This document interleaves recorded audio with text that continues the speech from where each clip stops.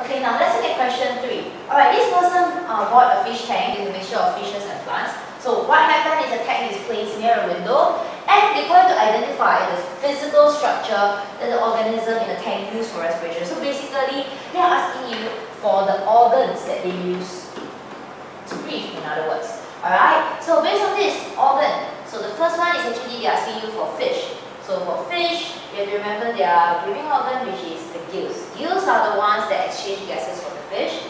Alright, and the next one is for plants. Plants exchange gases through their stomata. So this one you have to remember and memorize. Alright, so now let's look at part B.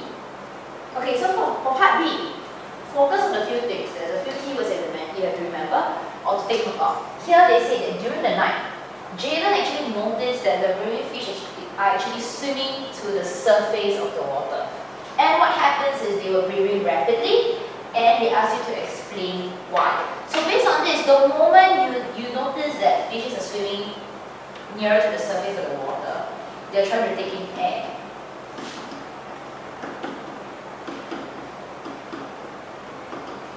Alright, we, we know that they're trying to take in air, they're breathing rapidly. The moment you breathe rapidly means there is not enough air.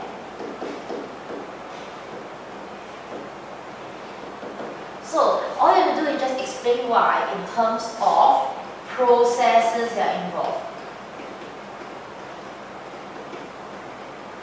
There are, this topic, there are two main processes that are involved in this kind of topic. Alright, so you can tell me the processes that are involved during the night. So always remember, during the night, there's one thing that you have to note of, is there is no light. Alright, so no light, what happens inside here is that plants cannot photosynthesize because there's no light. And when they cannot photosynthesize, there will be no oxygen being produced. So instead, the plants only go through respiration and they're actually competing with the fish for oxygen. So you have to focus on a few keywords here.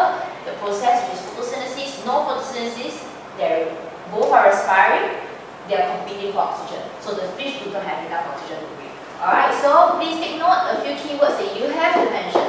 You have to mention there is no light. No light, plants cannot photosynthesize, they cannot make oxygen. So what happens is both of them respire and both of them compete for oxygen. Alright, so now let's look at part C.